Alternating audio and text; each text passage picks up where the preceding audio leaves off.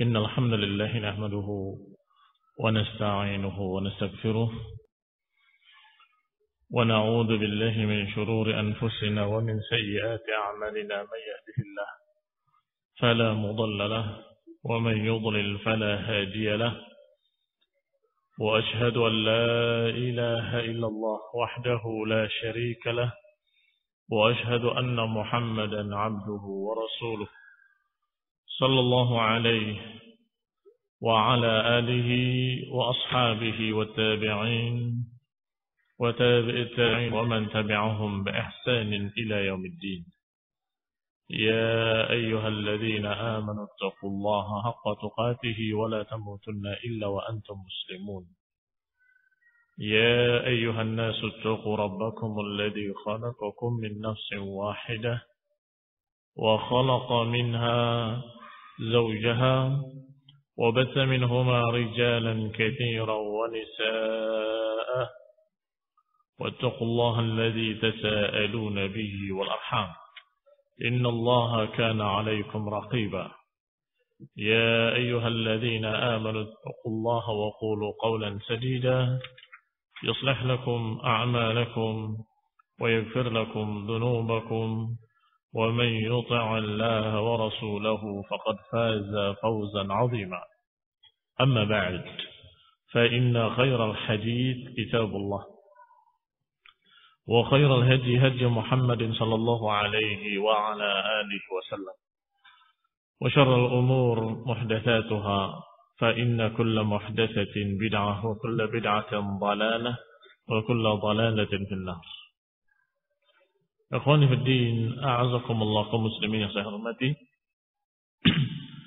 Kemarin kita berakhir pada kisah Huyay ibn Akhtab, aduwullah, musuh Allah, yang membujuk Sa'ad al-Quradi. Atau Ka'ab. Ka'ab ibn Asad al-Quradi. Nah. Fama zala Yafatilu terus menerus Huyai bin Akhtab membujuknya agar dia mau melepaskan perjanjiannya dengan Rasulullah SAW dan mendukung mereka, mendukung pasukan Ahzab yang diprakarsai oleh tokoh-tokoh Yahudi. Sampai pada akhirnya naqadha Ka'ab ibni Asad ahdahu. Pada akhirnya berhasil bahwa Ka'ab ibni Asad membatalkan perjanjiannya dengan Rasulullah SAW wa bari'a mimma kana bainahu wa baina Rasulillah SAW.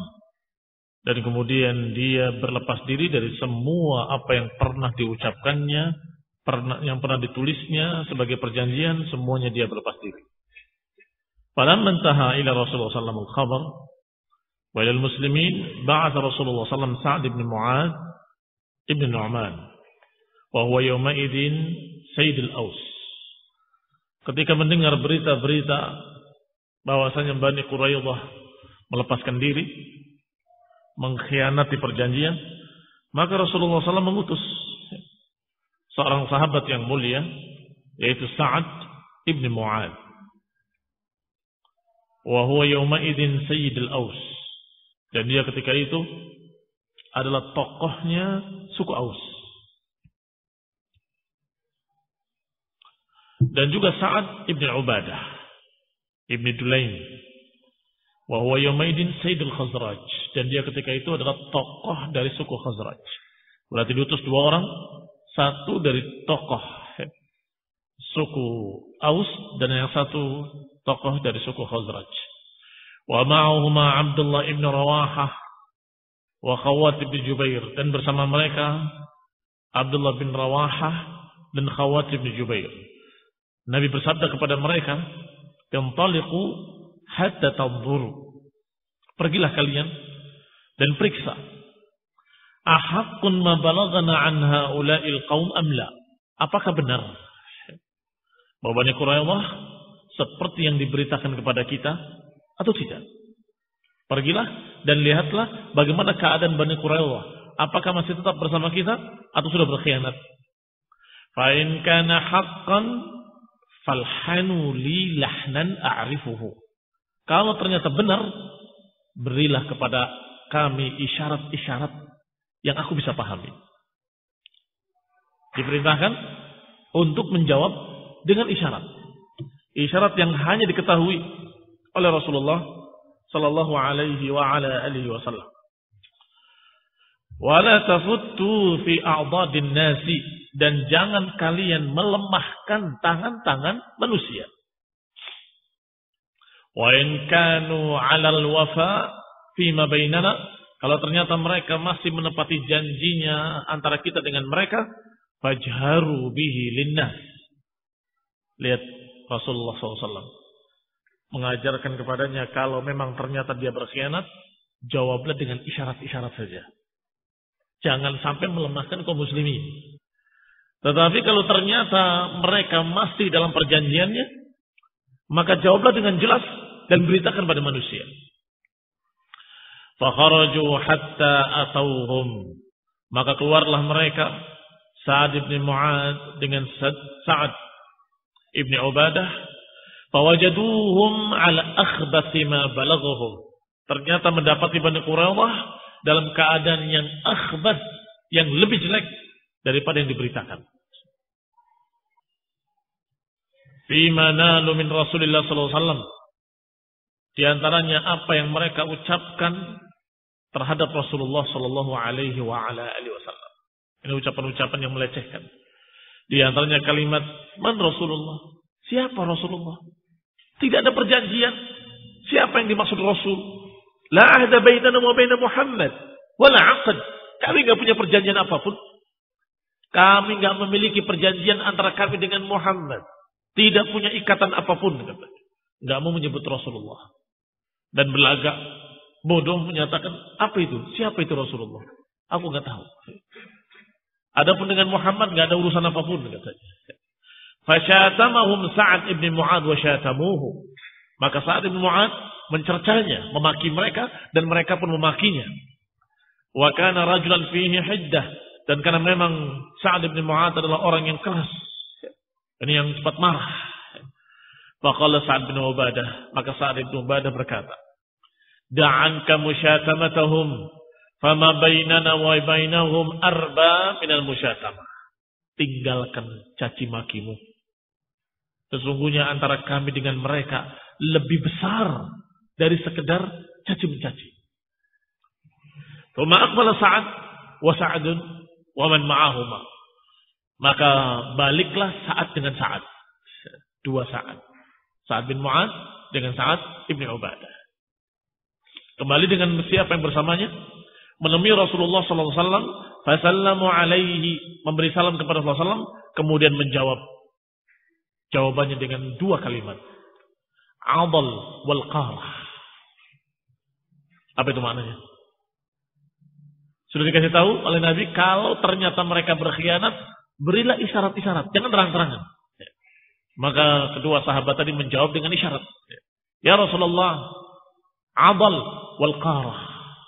Siapa abal wal qarah? Man. Saya masih ingat. Ya Allah. Man, manhum.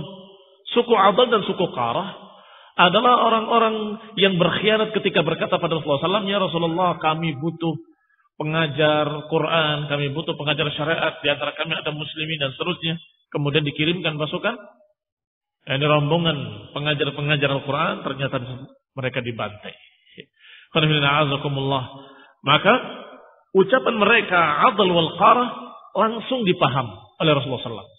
Ya nikah gadri adalin wal qarah bi ashabir raji' yaitu seperti berkhianatnya suku Adal dan suku Qarah terhadap para sahabat di hari Raji'. Mudah-mudahan masih ingat. Di antaranya Khubayb dan ashabu. Khubayb dan para sahabatnya radhiyallahu taala anhum, sebagian dibunuh, sebagian dijual kepada Quraisy dan kemudian oleh Quraisy juga dibunuh. Maka ketika mendengar kalimat adl wal qarah, Rasulullah menjawab, Allahu Akbar. Allahu Akbar. Abshiru ya ma'asyaral muslimin. Allahu Akbar. Abshiru ya ma'asyaral muslimin. Bergembiralah wahai kaum muslimin. Kalimat bergembira oleh wahai kaum muslimin menunjukkan bahwasanya harapan kepada Allah tetap besar. Harapan kepada Allah tetap tinggi. Jadi tidak khawatir apa pun dengan berkhianatnya Bani Quraidah. Sudah pasukan Ahzab begitu besarnya, sekarang Bani Quraidah yang ada di dalam Madinah telah berkhianat. Maka musuh dari dalam dan dari luar. Wa 'azama 'inda dzalikal bala wa ishtadda al-khawf. Maka semakin besarlah bencana yang menimpa kaum muslimin. Wa ishtadda al-khawf dan semakin dahsyat rasa takut dan kegelisahan kaum muslimin. Wa atahum aduhum min fawqihim wa min asfala minhum. Datang musuh-musuh mereka kaum muslimin dari atas mereka dan dari bawah mereka. Hatta dhannal mu'minuna kulladhan. Hingga kaum mukminin sudah memiliki prasangka-prasangka yang enggak-enggak. Tetapi mereka kaum mukminin memiliki perasaan dalam hati, prasangka jangan-jangan kita akan dibantai habis, jangan-jangan begitu. Tidak keluar dari mulut mereka. Adapun yang keluar dari mulut mereka hanya ucapan ikrar kemenangan pasti datang. Sehingga bertanya, ya Rasulullah, kapan pertolongan Allah? Yakin akan datang pertolongan Allah. Tapi kapan? Yakin pasti Allah menolong, pasti Allah membela. Tetapi kapan? Berbeda dengan munafikin. Adapun munafikin langsung terucap di mulut mereka. Mana katanya kita bakal menang. Mana katanya kita akan jaya, kita akan begini, kita akan begitu. Dan kemudian berkata dengan kalimat-kalimat yang mengerikan. Sebentar lagi kita dibantai habis. Sebentar lagi tidak ada agama-agama kalian. Sebentar lagi begini dan begitu. Di antaranya yang mengucapkan seperti itu adalah Mu'attib ibn Khusyait. Najaman nifaq min ba'dil munafiqin. Saat itulah muncul terang-terangan para munafiqin. Kenapa demikian? Karena munafik sudah meyakini muslimin bakal kalah. Maka mereka sudah terang-terangan. Tidak lagi sembunyi-sembunyi, langsung menampakkan hidungnya. Dan berkata seperti Mu'attib bin Qushair. Karena Muhammad ya'iduna an na'kul kunuz Kisra wa Qaisar. Wa ahaduna al-yawm la ya'man ala nafsihi an yadhhab al-gha'id. Kata Mu'attib, dulu Muhammad menjanjikan kepada kita bahwa kita akan memakan dan mengambil perbendaharaan dari Romawi dan Persia. Tetapi sekarang kenyataannya salah seorang kita mau buang air aja nggak aman. ucapannya. Jelas ucapan kufur. Yang tidak percaya kepada Rasulullah Sallallahu Alaihi Wasallam. Dan demikianlah dengan ujian-ujian yang berat akan terpisah. Liyuhiqqal haqqa biqadimatihi wa yaqta' dabral kafirin. Untuk menjelaskan yang hak adalah hak dan batil adalah batil. Untuk membuktikan mana mukmin mana kafir itu dengan ujian. Semakin berat ujian, semakin berat ujian baru terlihat. Ya. Yang mukmin tetap berpegang dengan keimanannya, Sedangkan yang setengah-setengah atau munafikin mulai mengucapkan kalimat-kalimat kufur. Katanya dulu menjanjikan kita akan makan dari perbendaharaan Persia dan Romawi. Katanya kita akan mengambil istana Kisra dan istana Kaisar. Sekarang kenyataannya salah seorang kita mau buang air aja gak berani. Wa hatta qala Aus ibni Qayyudi, ya Rasulullah, Inna buyutana aurah minal adu. Wadhalika an mala'in min rijali qawmihi. Fa'adina lana an nakhruj. Fa'adhan lana an nakhruj. Fanarji ila darina. Fa'innahum kharijun minal madinah. Dan salah seorang mereka berkata, Ya Rasulullah, rumah kami aurah perlu dijaga dari musuh. Karena ada musuh-musuh dari kaumnya. Yani Bani Quraidah yang sudah melepaskan perjanjian. Maka aku perlu jaga keluargaku. Izinkan aku untuk keluar kembali ke rumahku untuk menjaga karena rumahku di pinggir kota.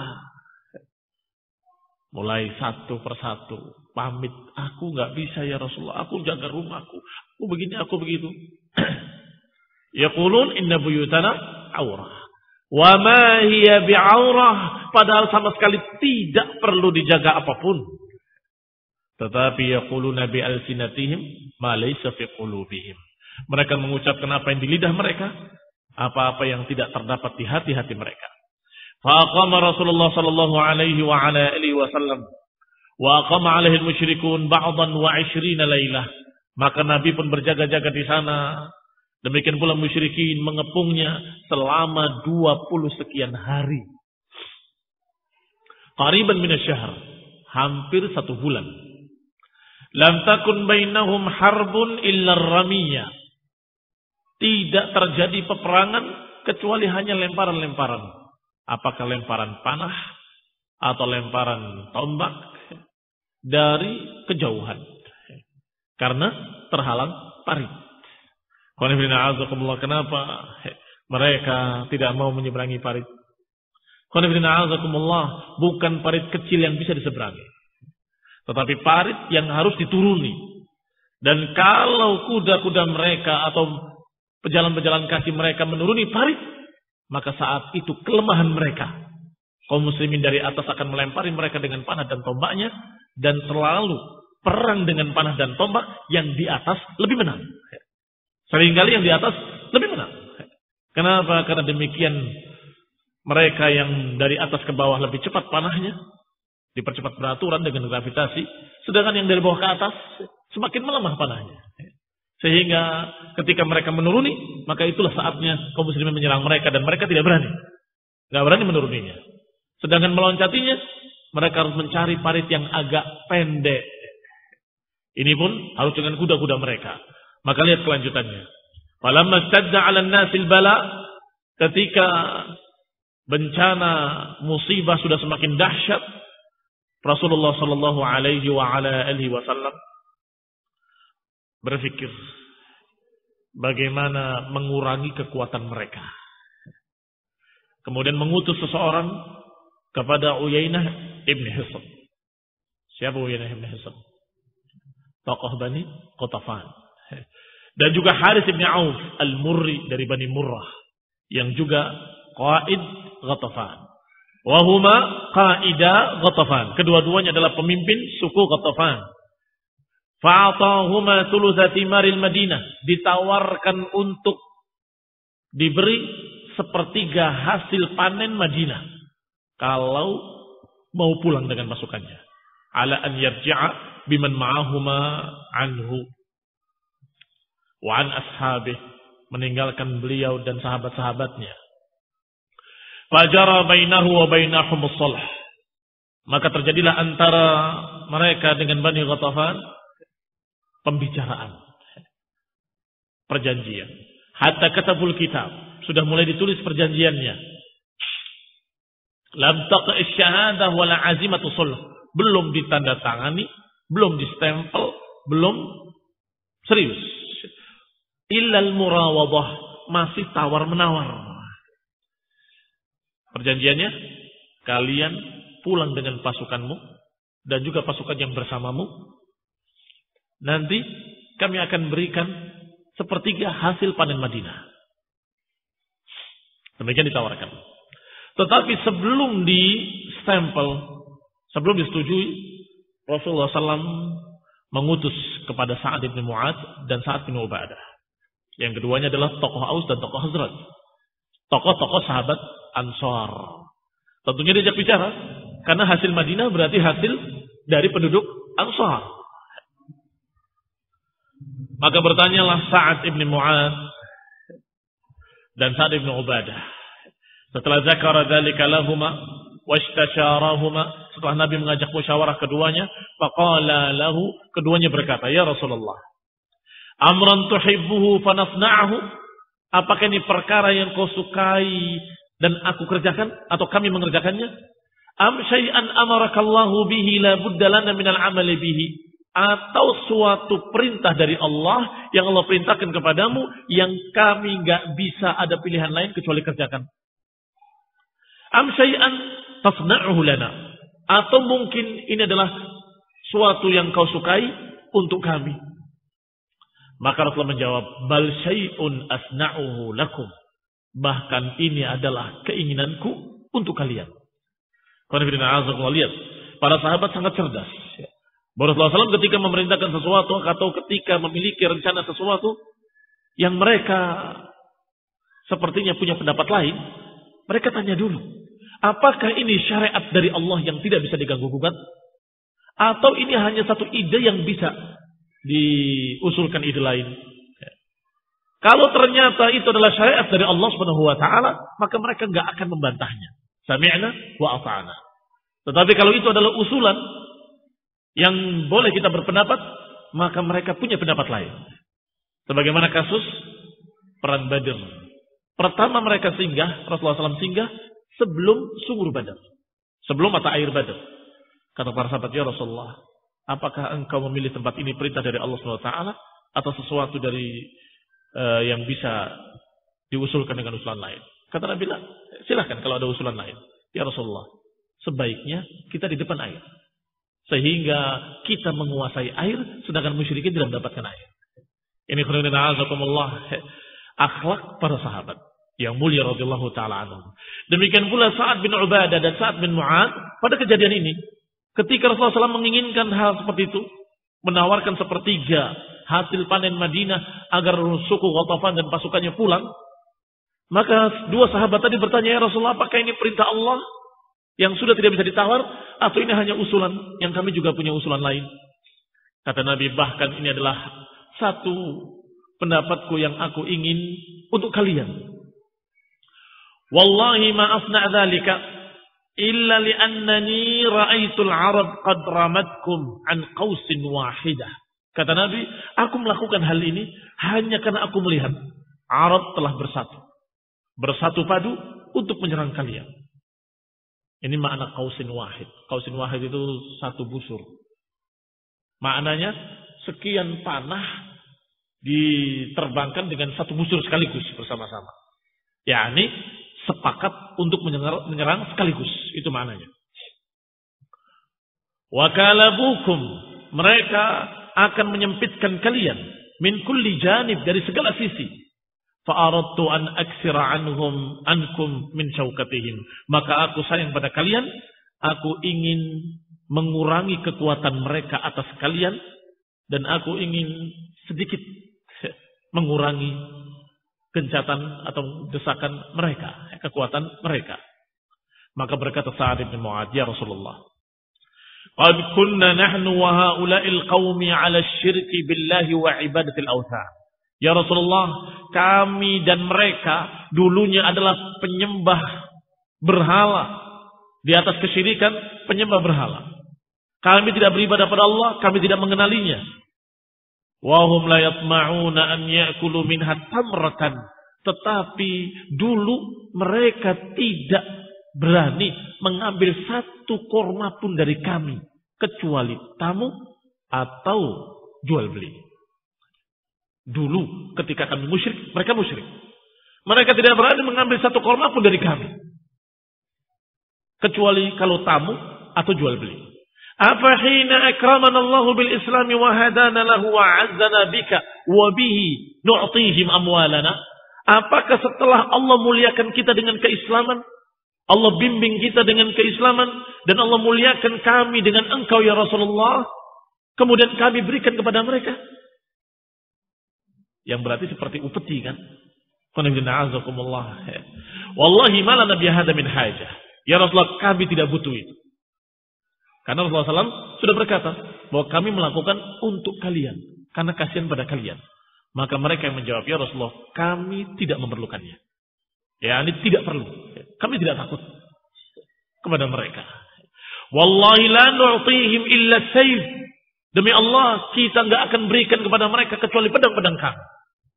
Kalau zaman jahiliyah saja mereka tidak berani mengambil korma kami walaupun satu biji, satu butir sekalipun, Apalagi setelah kami menjadi muslimin, dimuliakan oleh Allah Subhanahu wa taala dengan Islam dan dengan engkau ya Rasulullah. Demi Allah kami enggak akan berikan pada mereka kecuali pedang-pedang kami. Hatta yakum Allah bainana wa bainahum sampai Allah yang menghukumi antara kami dengan mereka. Maka Rasulullah SAW menjawab, Anta wadak. Apa mana anta wadak? Anta. Engkau dengan kemauanmu. Ini silahkan. Engkau dengan kemauanmu. Maka berangkatlah Sa'ad ibn Mu'ad dan Sa'ad ibn Ubadah mengambil sahifah, mengambil surat tadi yang belum distempel, yang belum disetujui. Diambil kertasnya, dihapus oleh dia. Kemudian berkata, liyajhadu alaina. Silahkan bersungguh-sungguh untuk menyerang kami. Ini khonifina azakullah jagoan-jagoan ansar. Tidak memiliki rasa takut sama sekali. Walaupun Allah SAW memikirkan mereka, tapi mereka sendiri menyatakan, ya Rasulullah, kami nggak perlu. Kita nggak akan berikan pada mereka kecuali pedang-pedang kami sampai Allah menentukan keputusan-keputusannya. Faqama Rasulullah SAW muslimin wa aduwuhum muhasirun. Maka teruslah kaum muslimin tinggal di sana berjaga-jaga dalam keadaan musuh mereka mengepung mereka. Walam yakun bainahum qitalun illa tidak terjadi peperangan kecuali beberapa penunggang-penunggang kuda, fawaris. Fawaris bentuk jamak dari faris. Faris adalah penunggang-penunggang kuda. Hanya saja beberapa penunggang kuda dari Quraisy, di antara mereka adalah Amr ibni Abdi Wud dan Ikrimah ibni Abi Jahal dan Hubairah ibni Abi Wahab al-Makhzumiyan yang kedua-duanya Makhzumi dari Bani Makhzum wa ibn al-Khattab al-Syair talabbasu lil qital mereka sudah bersungguh-sungguh meniatkan untuk berperang Thumma kharaju ala khaylihim. Kemudian berangkat mereka dengan kuda-kuda mereka. Hatta marru bimanazil Bani Kinana. Sampai mereka melewati rumah-rumah dari Bani Kinana. Faqalu. Kemudian berkata. Ini bukan rumah ya. Tapi kemah-kemah. Atau tempat-tempat tinggal mereka. Yani dari Quraisy menuju Bani Kinana. Grupnya mereka juga. Dan berkata tahayya'u. Ya Bani Kinana lil harf Siap-siaplah wahai Bani Kinanah untuk berperang. Fatata'lamuna manil fursanil yaum. Kalian akan tahu siapa penunggang-penunggang kuda yang hebat. Siap-siaplah berperang. Ini saya sebentar lagi kalian akan tahu siapa penunggang-penunggang kuda yang hebat. Tuma akbalu tu'nit bihim khailahum. Kemudian berangkatlah mereka dengan memacu kudanya dengan cepat hatta waqafu 'alal khandaq sampai mereka di depan parit, di depan khandaq. Berarti persis antara kaum muslimin dengan mereka hanya parit saja. Falamma ra'awhu ketika sudah melihat parit-parit tadi terkejut mereka. Wallahi inna hadhihi lamakidatun ma kanatil arab takiduha. Sungguh demi Allah, ini adalah tipu daya perang, strategi perang yang nggak pernah dikenal oleh orang-orang Arab. Nah, memang tidak pernah dikenal oleh orang-orang Arab. Karena ini adalah usulan dari Salman Al-Farisi yang dia dari Persia. Summatayammamu makanan dayiqan. Akhirnya pasukan berkuda tadi mencari parit yang sempit yang bisa diloncati. Summatayammamu makanan dayiqan mencari tempat yang sempit minal khandaq dari parit-parit tersebut fadarabu khaylahum faqtahamat minhu Mulai mereka pacu kudanya untuk melompati parit yang sempit tadi. Fajalat bihim fis sabkhah bainal khandaq was Maka berhasillah mereka melompati uh, khandak-khandak tadi, parit-parit tadi sampai mereka di sabkhah. Sabkhah itu seperti padang pasir tetapi bergaram. Nah, kalian berpikir orang-orang di padang pasir itu garamnya dari mana? Subhanallah, di sana ada Padang pasir yang bergaram. Kenapa?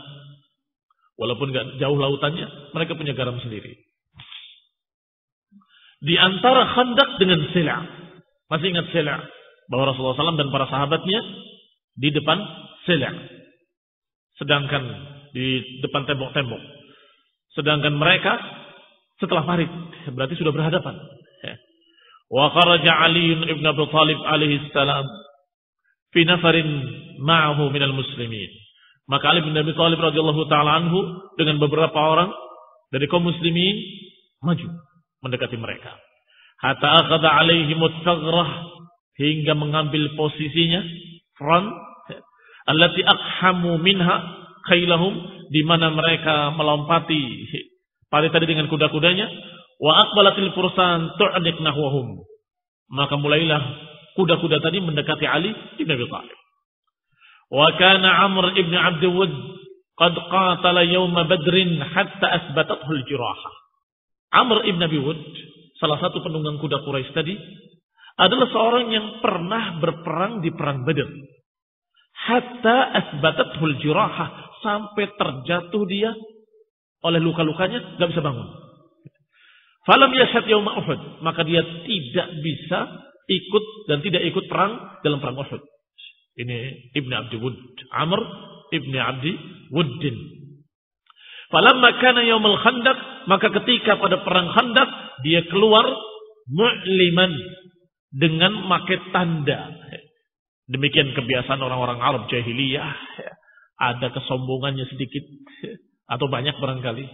Sehingga kalau mereka berperang, mereka memberi tanda masing-masing bahwa inilah aku, begitu. Memberi tanda yang bisa dikenali bahwa itu adalah Amr ibn Abi Wud. Untuk apa? Liyara makanahu, agar dilihat oleh manusia orang tersebut.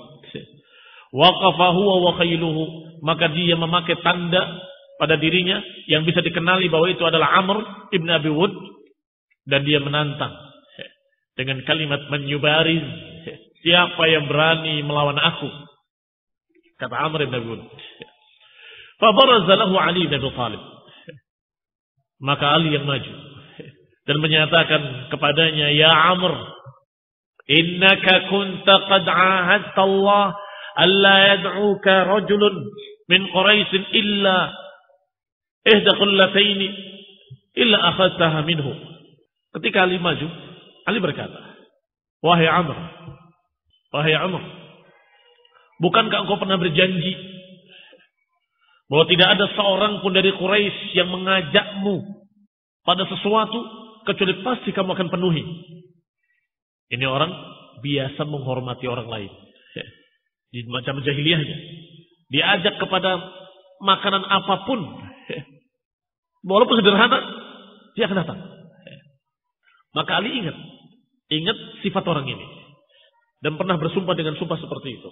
Maka dia berkata, Ya Amr, dulu engkau pernah berjanji bahwa tidak ada seorang pun dari Quraisy yang mengajak pada sesuatu kecuali pasti engkau akan menerimanya. Qala aja. Kata dia, iya. Aku pernah berjanji seperti itu.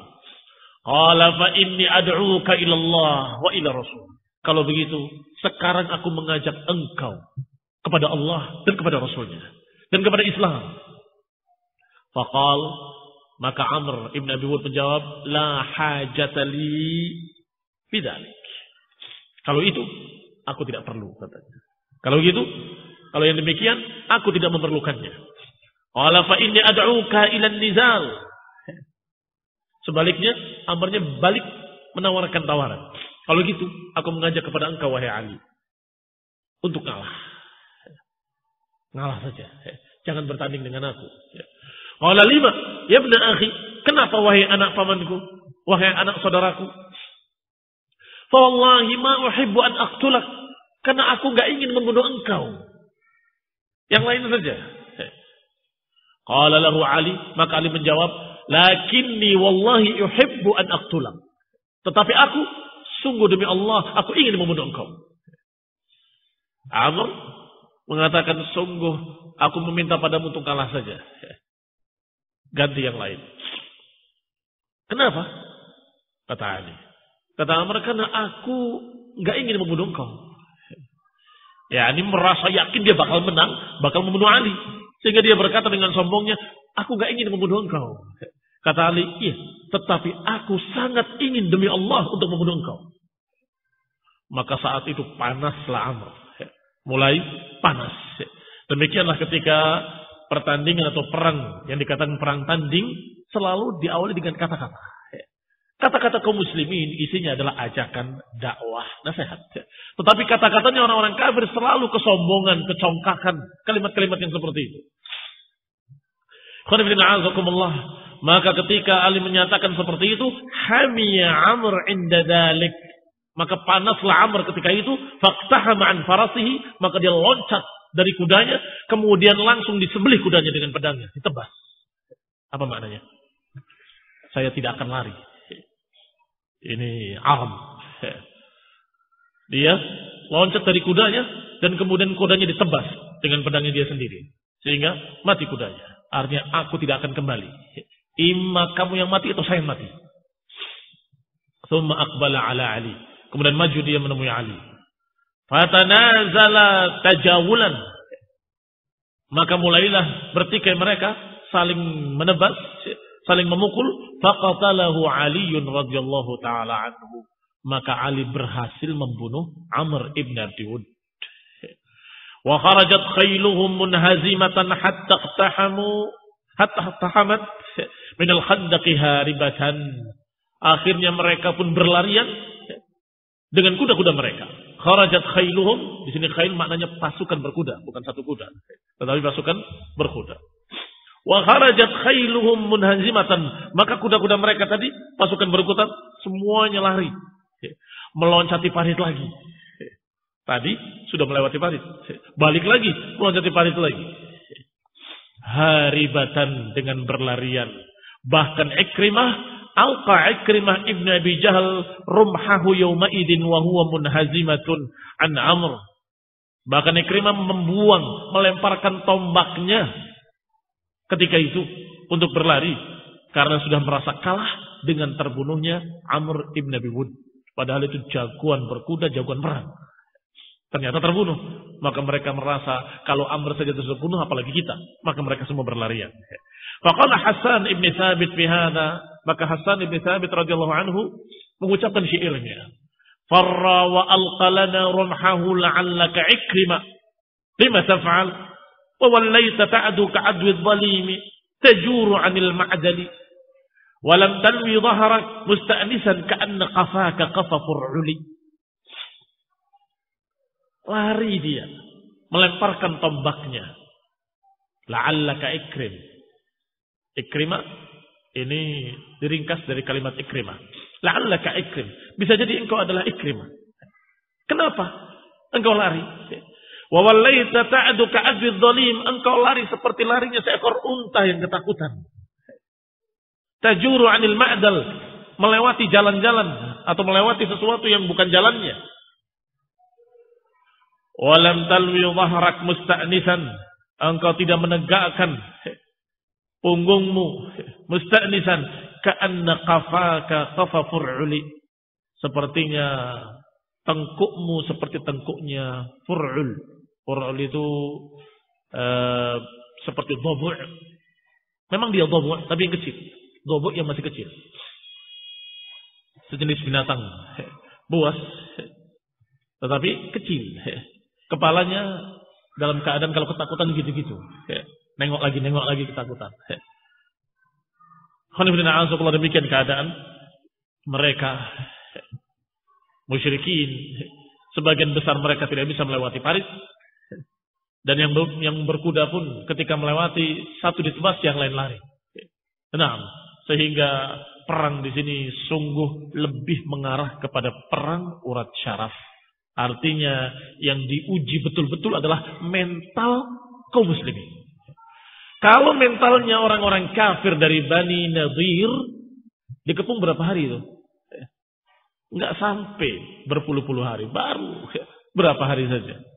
Sudah gelisah mereka. Melihat pohon kormanya ditebangi, langsung menyatakan kami kalah, kami kalah. Kami keluar saja, kami keluar saja. Itu mentalnya mereka. Al-qallah fi qulubihim Allah lemparkan pada mereka rasa takut. Tetapi kaum muslimin dikepung sampai hampir satu bulan dalam keadaan tidak gentar, tidak bergeming. Apakah tidak kelaparan? Kelaparan. Apakah tidak kekurangan makanan? Kekurangan makanan. Mereka kekurangan makanan, kekurangan ini, kekurangan semuanya. Tetapi mereka tidak kekurangan iman. Mereka tidak kekurangan iman. Mereka hanya bertanya dengan kalimat mata Nasrullah. Am hazibtum an tadkhulul jannata Walamma ya'tikum mathalul ladina khalau min qablikum massathumul ba'sa'u wad-dharra'u wa zulzilu hatta yaqula rasul wal ladina amanu ma'ahu mata nasrullah. Ala inna qarib. Kata Allah, apakah kalian akan masuk surga dalam keadaan belum datang kepada kalian apa-apa yang pernah menimpa orang-orang terdahulu? Rasa takut, rasa gelisah, kegoncangan, zulzilu, digoncang, kerugian, sakitan, kekurangan, Sampai rasa takut yang dahsyat. Zulzilu. Goncang. Sampai Rasul. Dan yang bersamanya berkata. Maka Nasrullah. Kata Allah, ala inna nasrallahi qarib. Pertolongan Allah dekat. Sehingga mereka tetap istiqamah dan mereka sabar karena selalu dikatakan oleh Rasulullah SAW, abshiru, abshiru, bergembiralah, bergembiralah. Akan datang pertolongan Allah sebentar lagi, dekat. Sehingga mereka terus kuat mentalnya, tidak ngalah, tidak merasa kalah, tidak mundur. Tetap mereka istiqomah di sana sampai kemudian Allah Subhanahu wa taala menghancurkan mereka dengan tentara yang Allah turunkan. Insyaallah kita lanjutkan pada kajian mendatang bismillah taala. Subhanakallah bihamdik, asyhadu an la ilaha illa anta astaghfiruka wa atubu ilaik. Wassalamualaikum warahmatullahi wabarakatuh.